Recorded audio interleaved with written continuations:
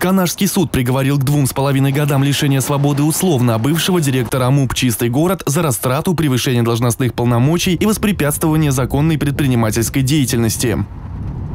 Следствием и судом установлено, что с ноября 2015 по декабрь 2016 года по указанию директора этого муниципального предприятия, оказывавшего администрация Канаша услуги по сбору и перечислению в городской бюджет плата за наем муниципального жилья, и собранных с населения в качестве платы более чем 3 миллионов 400 тысяч рублей в бюджет была перечислена лишь часть. Оставшаяся в неправомерном пользовании МУП «Чистый город» свыше 2 миллионов рублей он неправомерно направлял на расчеты его контрагентами, в том числе теми, кто обеспечивал вывоз мусора. Таким образом, администрация Канаша был причинен материальный ущерб на эту сумму. В 2016 году, препятствуя законной предпринимательской деятельности двух подрядчиков по вывозу мусора, он создал для них такие условия, что те, получая в результате его неправомерных действий лишь частичную оплату своих услуг, были вынуждены отказаться от исполнения договорных обязательств, в результате чего единственным предприятием по вывозу мусора с сентября декабрь 2016 года стала коммерческая организация, владельцем которой был сам злоумышленник, который, вступив в должность директора МУП «Чистый город» 1 января 2016 года от имени этого муниципального предприятия в целях увеличения прибыли учрежденной им фирмы заключил с ней соответствующий договор.